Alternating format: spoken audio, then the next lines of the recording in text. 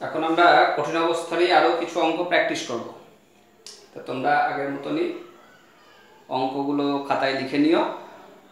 আমি প্রবলেমগুলো সলভ করে দিচ্ছি। একটু দেখে নাও।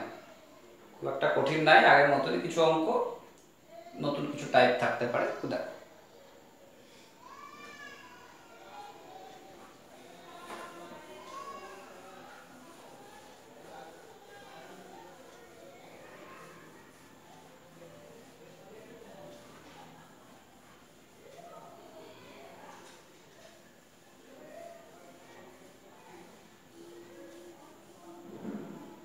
দেখো, পাঁচ নম্বর অঙ্কটা কি বলছে যে সিলভারের কেলাস পৃষ্ঠকেন্দ্রিক ঘনকাকার প্রকৃতির এর প্রতিটি একক কোষের বাহুর দৈর্ঘ্য দেওয়া আছে, ঘনত্ব বলা আছে সিলভারের পারমাণবিক ভর নির্ণয় করতে বলছে।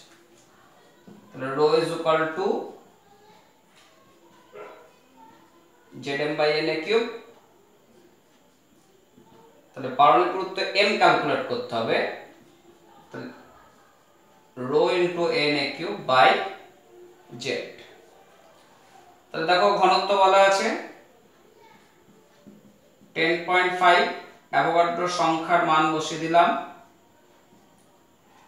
আর এ বাহুর দৈর্ঘ্য four point zero seven seven into ten to the power minus eight তার হোল কিউব বাই জেড পৃষ্ঠকেন্দ্রিক একক তাহলে পরমাণু সংখ্যা হচ্ছে চার।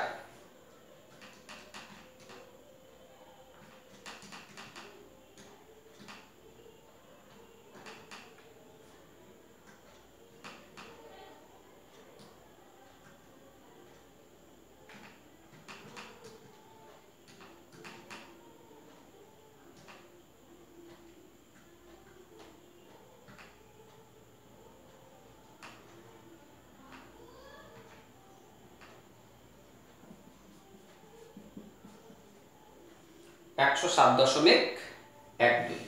তাহলে প্রথমটার উত্তর পেয়ে গেলাম। সিলভারের পারমাণবিক গুরুত্ব একশো সাত দশমিক এক দুই।